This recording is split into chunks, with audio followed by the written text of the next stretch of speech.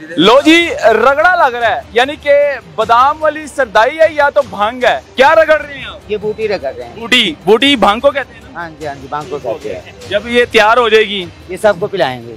अब स्कास काली इलायची चार पंच आटे में डाल के फिर बूटी बाल के धो के उसको फिर ठंडी करके फिर हम रगड़ा लाते हैं। वगैरह भी डालते हैं बादाम वो डालते हैं जो किनके पास पैसा होगा। असर क्या होता है वो? असर ऐसा होता है जैसे मैं ठंड में बैठा हूँ एसी में बैठा हूँ। अच्छा। करता कुछ नहीं है ये। ऐसे लग रहा है मैं जहाज़ पे जा रहा हूँ। ऐसे तकरीबन कोई बीस स्टाल लगे हुए हैं और हर स्टाल में भाँग तैयार हो रही है। दाता दातन तो चलो जाओ फिर दाता मेहरबानी अल्लाह का वास्ता। नशे। की है नशा। पहली बार पिया गया रोज़ाना पीते हो रोज़ाना। पीते हो रोज़ाना पीते हैं जी। इस तरह के बच्चे मेला देखने के लिए आते हैं। लेकिन अगर इस तरह का काम होता होगा यहाँ पर नशा सरेआम होगा चर्च खुलेआम बिकेगी और भाँग सरेआम पियेंगे लोग बच्चे खराब होंगे। लो जी रगड़ा लग रहा है। यानी कि बादाम वाली सरदाई है या तो भाँग है? इन दोनों में एक एक चीज़ ज़रूर है पूछूँगा। अस्सलाम वालेकुम। क्या रगड़ रही हैं आप? ये बूटी रगड़ रहे हैं। बूटी बूटी भाँग को कहते हैं? हाँ जी हाँ जी बांग को कहते तो कितनी देर हो गई ये रगड़ रही हैं? ये मुझे नहीं पता है पहले ये ग्राम तो रगड़े लगाने आए हैं। नहीं नहीं रगड़ते रगड़ते कितना टाइम गुजर गया? पाँच मिनट। पाँच मिनट। तो इसको कितना टाइम रगड़ना है? बीस मिनट। तीस मिनट। जब ये तैयार हो जाएगी? ये सबको पिलाएँगे। नहीं इसके अंदर पानी डालेंगे? हाँ जी ये पुनः लाएँगे। अच्छा।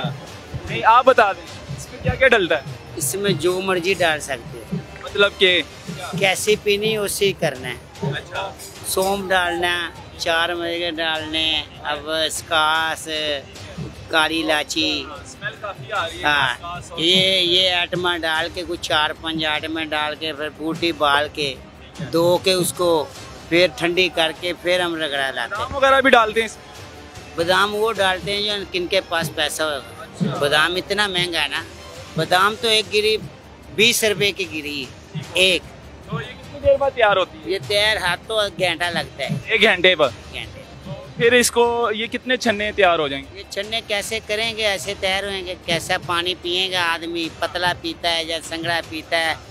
कैसा कैसा दुनिया में नशा करता है वैसा पानी मांगते हैं वैसा तैयार तो इसके कितने लीटर बन जाएँगे? इसके कम से कम कोई बनाने पे हैं तो तीन छन्ने बन सकते हैं। तीन छन्ने बन सकते हैं।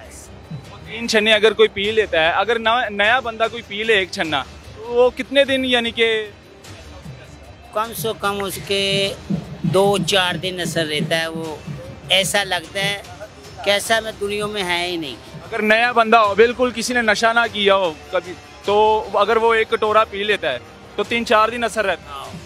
घर में लम्बे पड़े रहते हैं। असर क्या होता है वो? असर ऐसा होता है कैसा मैं ठंड में बैठा हूँ एसी में बैठा हूँ।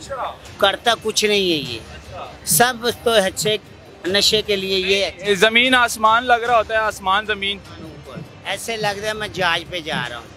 हाँ बस। फुल नशा फुल नशा हो रहा है। ये ऐसा नशा किसी से बदतलीमी नहीं करता किसी से गलत नहीं बोलता।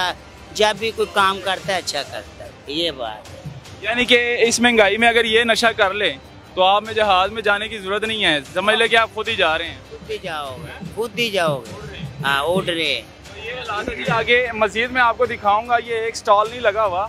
ऐसे तकरीबन कोई 20 स्टॉल लगे हुए हैं और हर स्टॉल में भाँग तैयार हो रही है। आ, और ये कटोरे जो है ना ये तैयार कर करके बेचते हैं।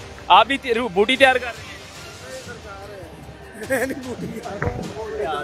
बूटी तैयार हो रही है अल्लाह माफ करे ਮੇਰੇ ਕੋਈ ਟੀਵੀ ਜ਼ਰੂਰ ਖਾਣਾ ਹੈਗਾ की हो ਆਪਣੇ ਆਪਣੇ ਅੱਗੇ ਸੋਹਣੇ ਸੋਹਣੇ ਚਿਹਰੇ ਟੀਵੀ ਕੀ ਹੋ ਜਾਏਗਾ ਉਹ ਪਾਣੀ ਪੀਣ ਵਾਸਤੇ ਬਣਾਉਣ ਲੱਗੇ ਹਾਂ ਮਿਹਰਬਾਨੀ ਆ अच्छा ਹਾਂ नहीं वहाँ ये ਬੜੀ ਮਿਹਰਬਾਨੀ ਤੈਨੂੰ ਕਿਹਾ ਮੇਰੇ ਬੰਦੇ ਅੱਗੇ ਸਮਝਦਾਰ ਹੈ आगे चलते हैं जी आगे मस्जिद में आपको दिखाता हूँ पीछे स्टॉल लगे हुए हैं और भंग के स्टॉल लगे हुए हैं ये कोई शरबत नहीं है और यहाँ पे बी- बिका भी जाता है चाचा एक कटोरा किन्ने का है एक गिलास ये जो हम खुद पीते हैं खुद पीते हैं हाँ नहीं अच्छा आगे चलेंगे ये भी भंग है ये हाल है साईं साहब ठीक है ਕਿਸੇ ਦੀ ਮੰਨਦੇ ਜੇ ਆਪਣੇ ਮਾਂ ਪਿਓ ਦਾ ਖੂਨ ਹੈ ਤਾਂ ਸਾਈਡ ਤੇ ਹੋ ਜਾਵੇ ਫੈਮਿਲੀ ਹੈ ਸਾਡੇ ਨਾਲ ਮਿਹਰਬਾਨੀ ਤੁਹਾਡੇ एक कटोरा किन्ने का है? ਨਹੀਂ ਤੁਸੀਂ ਤੁਹਾਡੇ ਨਾਲ ਤੁਹਾਡੇ ਘਰ ਦੀ ਆਪਣੇ ਮਾਂ ਪਿਓ ਦੀ ਇੱਜ਼ਤ ਕਰਦੇ ਜੇ ਸਾਡੀ ਮੰਨ ਜਾਓ ਦਾਤਾ ਦਾਤਾ ਨੂੰ ਮੰਨਦੇ ਜੇ अल्हम्दुलिल्लाह ਤਾਂ ਚਲੋ ਜਾਓ ਫਿਰ किन्ने ਮਿਹਰਬਾਨੀ का ਯਾਰ ਦਾਤਾ ਜੀ ਮੰਨਦੇ ਜੇ ਨਾ ਓਏ ਇਹਨੂੰ ਮੈਂ ਤਾਂ ਕੀ ਛੱਡ ਕਹਿ ਦੇ। ਰਿਹਾ ਦਾਤਾ ਜੀ ਮੰਨਦੇ ਜੇ ਮੰਨਣਾ ਹੈ? ਮਿਹਰਬਾਨੀ ਨਾਲ ਅੱਲਾ ਦਾ ਵਾਸਤਾ ਦਿਓ।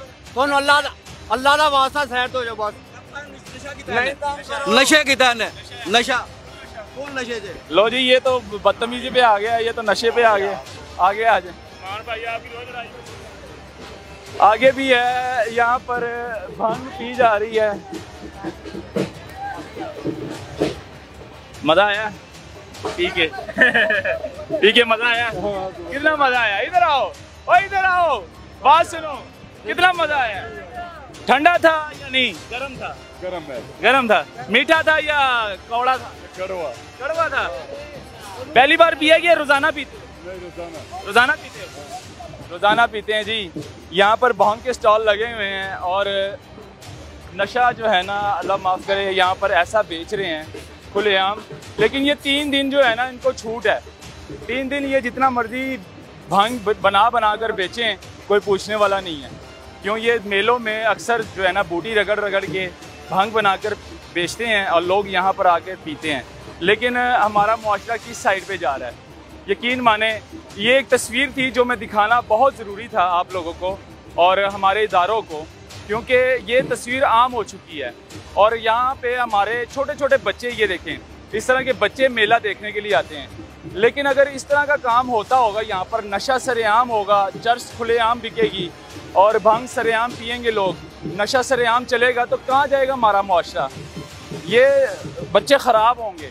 यही बच्चे इनको देख के, बड़ों को देख के, यही कल को नशा करेंगे, यही भाँग पियेंगे, यही चर्च पियेंगे और माओ के लाल ख़राब हो जाएँगे। ये दिखाने का मकसद ये था आप लोगों को कि कोई तो पूछने वाला नहीं है, इस नशे को ख़त्म करने वाला कोई नहीं है।